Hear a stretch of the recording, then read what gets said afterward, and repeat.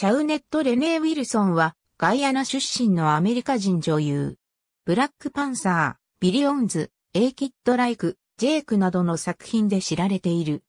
最近では、エイミー・ホールデン・ジョーンズが制作したフォックスシリーズ、レジデント型破りな天才研修医で、ミーナ・オカフォー医師を演じていた。シャウネット・レネー・ウィルソンはガイアナで生まれ、2歳からニューヨークで育った。リベダーとウェズレー・ウィルソンの娘で、兄にアンドレー、妹にセレーナとシニークがいる。シャウネットは、イエールスクール・オブ・ドラマに通っていた。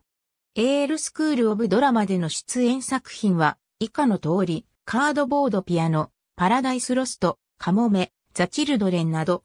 シャウネットは、クイーンズ・カレッジでドラマと演劇、BA インドラマシアターの学士号を取得した。2021年、彼女はインディ・ジョーンズシリーズ第5作目のキャストに加わった。ありがとうございます。